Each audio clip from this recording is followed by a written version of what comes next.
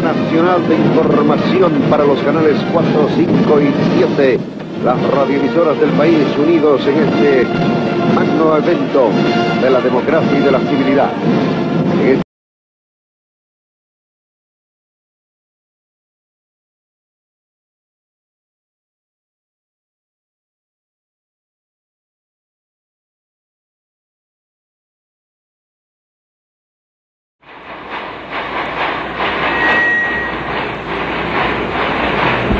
Señoras y señores, amigos telespectadores, esta es una nueva ocasión en que el Perú encuentra su destino histórico. Estamos en los instantes que alumbra una nueva jornada republicana. Esta página de la rica historia del Perú es simplemente un eslabón de la gran jornada nacional que nuestro país viene protagonizando desde hace exactamente 157 años. Y Carlos Roca lo acompañan hasta el sillón presidencial.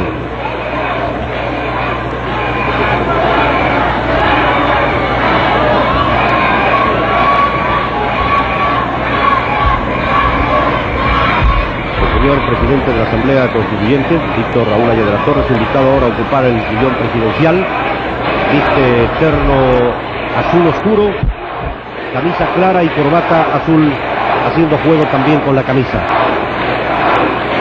Mientras tanto, en las galerías superiores están presentes ex parlamentarios y dirigentes políticos, periodistas, familiares de los constituyentes y miembros del cuerpo diplomático.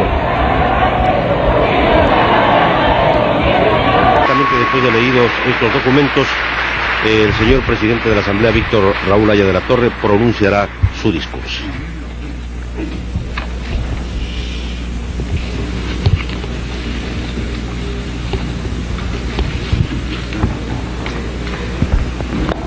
De ser anecdótico el hecho de que será, creo, la primera vez que el señor Víctor Raúl de la Torre dará lectura Ciudadanos representantes.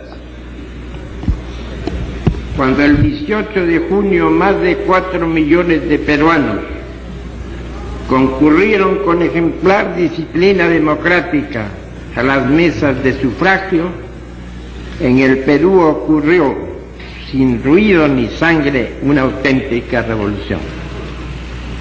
El pueblo recuperó el ejercicio de una soberanía que le fue negada a lo largo de diez años y demostró madurez, responsabilidad y un alto espíritu cívico, superando gallardamente los escollos de una legislación electoral enmarañada con la introducción del absurdo voto preferencial, el pueblo peruano optó por el camino de la democracia y de los partidos en que la democracia se sustenta y quedó confirmada con la experiencia peruana la luminosa frase del apóstol cubano José Martí, quien dijo, cuando el sufragio es ley, la revolución es el sufragio.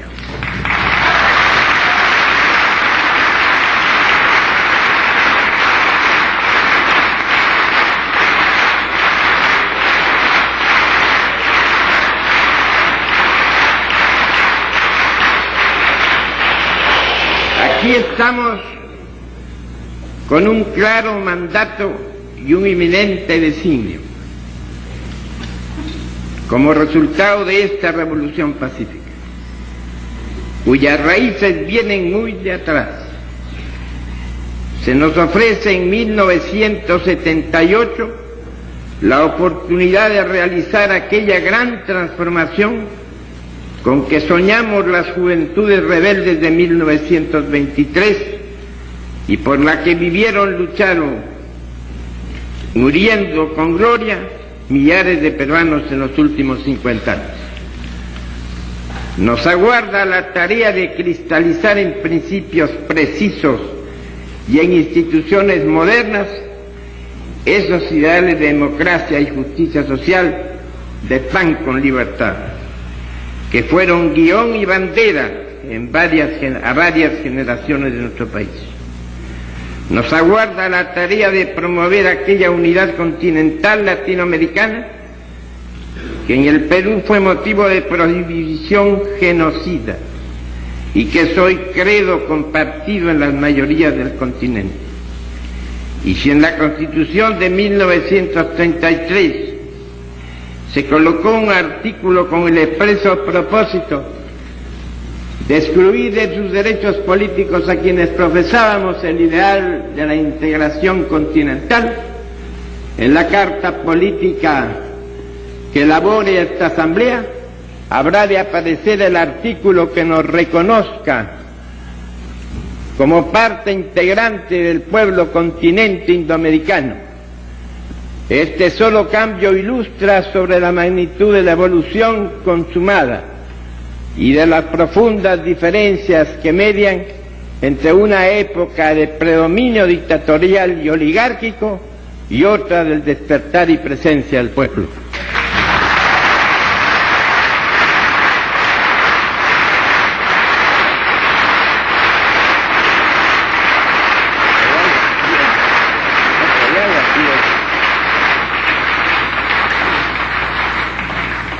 Esta asamblea encarna el poder constituyente y el poder constituyente es la expresión suprema del poder del pueblo como tal y el primer poder del Estado.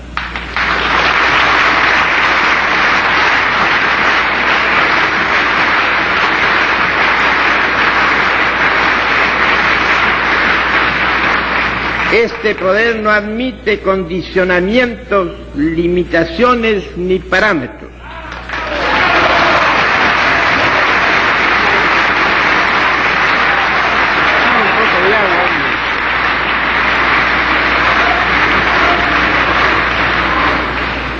Como tal, ningún dictado extraño a su seno puede recortar sus, potestades. Cuando el, cuando el pueblo se reúne en asamblea constituyente, que es el primer poder del Estado, vuelve al origen de su ser político y es dueño de organizarse con la más irrestricta libertad.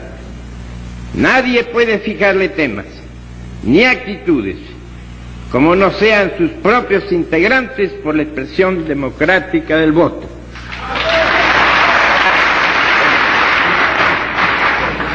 Es obvio que ni para un sector, sino para todo el pueblo.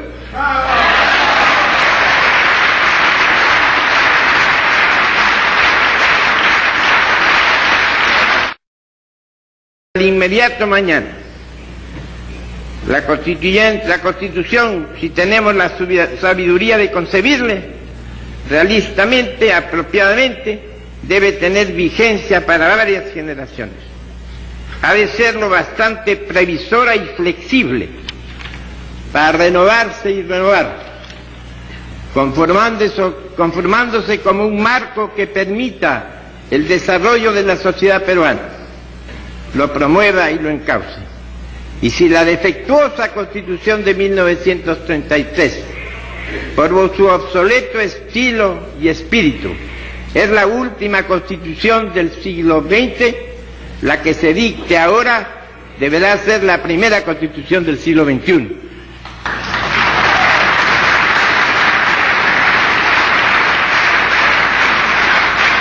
Una carta, una carta política que por su participación, modernidad y alcance resulte válida para este siglo futuro, que muchos no habremos de ver, pero cuyos resplandores aurorales empiecen a dejarse sentir en, nuestro, en nuestros conturbados tiempos.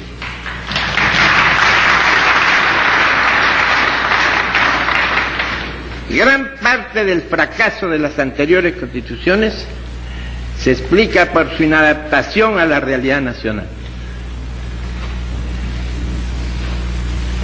El utópico extranjerismo de muchos legisladores y estadistas les hizo trasladar sin mayor examen instituciones y sistemas que surgían de realidades espaciotemporales muy diferentes de nuestras, de las nuestras.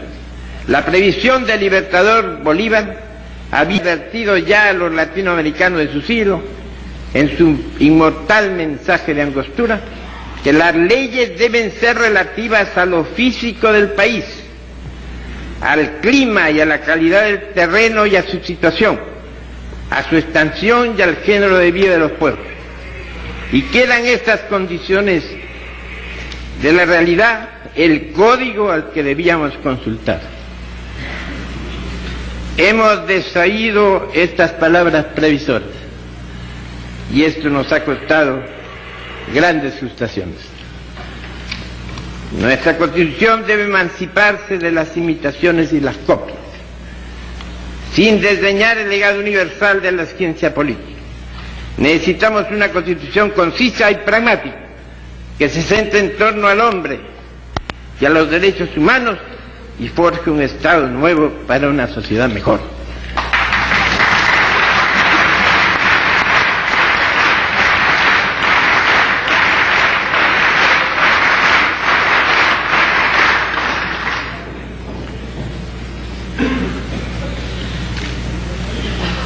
Una constitución que represente como obligación del Estado la superación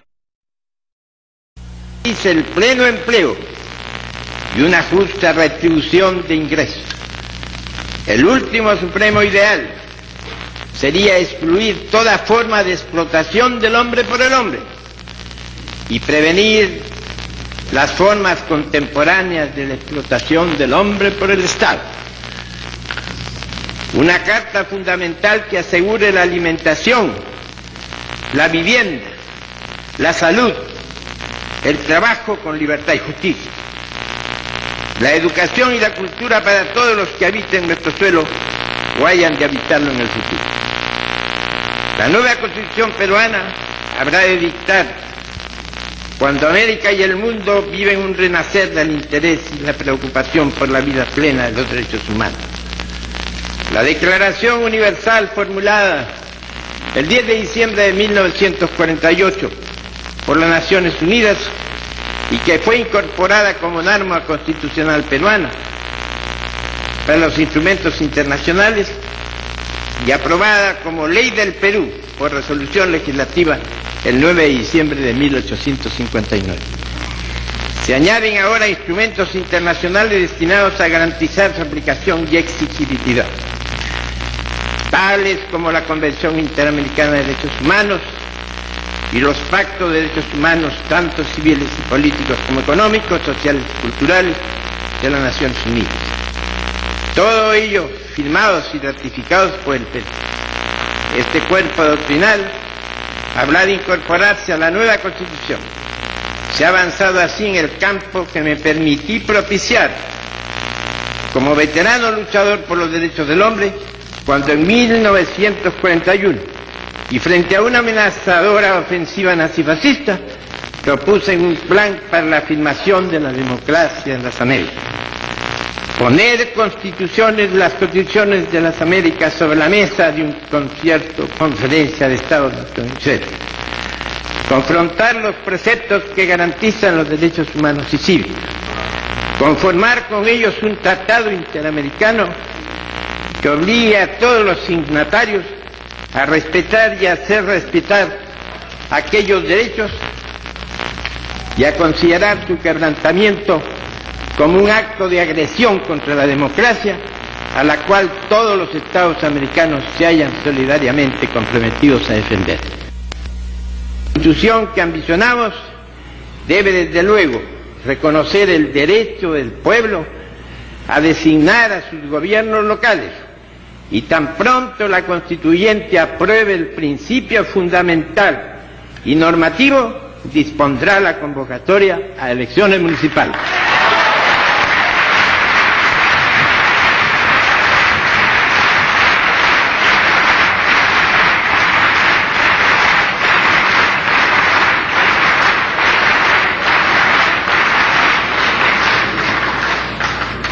Los pueblos necesitan de esta reparación que se produzca en el más breve tiempo posible.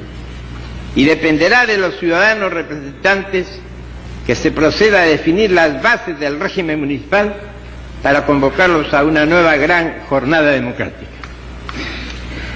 La restauración del régimen municipal de origen popular y electivo conlleva la descentralización administrativa y económica, a través de corporaciones de fomento y desarrollo que garanticen la inversión en las provincias de parte de las rentas que ellas producen y que hoy absorbe el centralismo de la capital. Usted lo el descentralista de Contra un sistema político en torno al hombre exige consagrar especial importancia a la preparación del hombre. Nuestra constitución debe atribuir a la enseñanza una jerarquía dominante y superior